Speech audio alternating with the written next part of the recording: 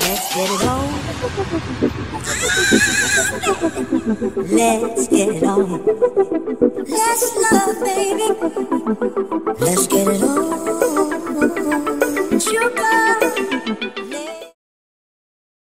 Hey everybody, I'm back again with another video, so grab yourself a cold drink and let's get the hizzle off this shizzle. Kodi, buffering, and how to resolve it. Well, there are many different reasons why Kodi can buffer content. Some of the factors are the speed of your connection, the load on the source server, and the speed of the device and the build of the Kodi that you are running. Kodi can run on many different OSs and with many different variations. It can run on Windows, Linux, Android, Raspberry Pi, iOS if jailbroken, and Mac OS X. You have to factor all that in as variables. If you're running a Fire Stick, you might want to avoid a heavily customized build, since your resources will be fewer than, let's say, a NVIDIA Shield. Even the fastest machines and a super fast connection, you can still have buffering. There are some tweaks you can do. I am running the TV add-ons Fusion build, which comes with a built-in system tweaker. You can also run a program called Ares. It measures the capabilities of your system and sets it up for the best performance. Let's do some of these tricks now. Okay, so let's go to Programs and then Maintenance Tool.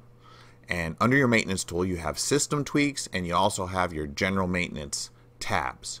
You want to go into both of these in order to tweak your system. So let's go into the General Maintenance and there's something called Clear Cache. You want to clear your cache periodically because files will build up and slow down your system and this will help your system run better. There are a bunch of other things you can do. You can remove skins, you can remove add-ons, you can do a bunch of stuff, but this is the one I recommend going into to help your system speed up. The other thing you want to do is you want to go into your system tweaks and you want to enable zero cache settings. This is to allow you to be able to pause the movie.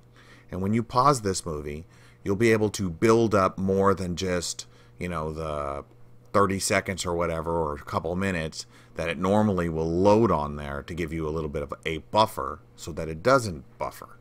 Um, so by setting it to zero cache, it allows it to load much more of the video. Okay, now let's try the Ares wizard. So you want to go to System and then File Manager. So click on File Manager and you're going to see this menu that says add a source. So you want to click on add a source. Alright, now after you've added the source and you've double clicked on it, you'll get this path that you have to enter. You have to enter http colon forward slash areswizard dot co dot uk.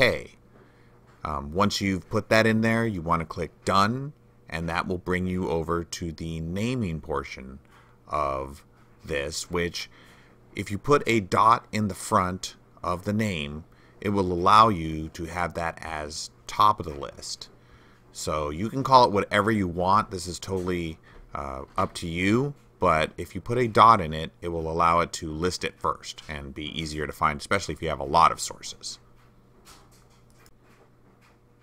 Okay, so now let's go to the add-ons. And if you see a huge list of add-ons, that's okay. You just have to scroll to the very top and hit the double dot there and then hit the double dot again and you'll get back to this area which is install from to zip file or from zip file. Click on your Ares and then there's only one script to run so you hit that. And once you've double clicked that you'll look on the bottom right hand side and it will actually say that the Ares Wizard has been enabled which will mean that now you can run that add-on. So they list it in the program section. So you want to get out to your main and go over to programs and you'll see Ares listed there if you double click that if you're in Windows you have to double click a lot um, And you'll see that it starts to extract everything and install everything. Once it's done with that, it will actually automatically run it. So give it a second and there you go. There's the Ares wizard. Now you want to go to tweaks and go to advanced settings wizard.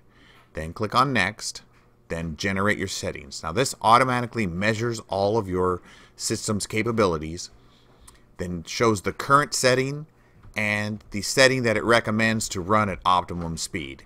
So you want to accept whatever these settings are by default and then click apply these settings. So I mean you've got your video cache which is kind of like your buffering uh, uh, zero cache.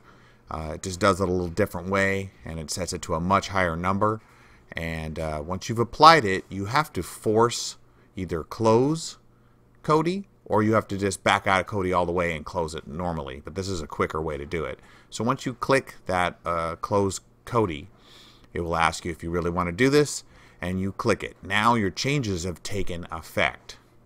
And now you can just relaunch Kodi and you should have the quicker buffering settings so that you can handle the buffering a little bit better. It'll use more of your resources, which will allow Kodi to run much faster. Alright, here we go. Final thoughts time. Buffering, can it be fixed?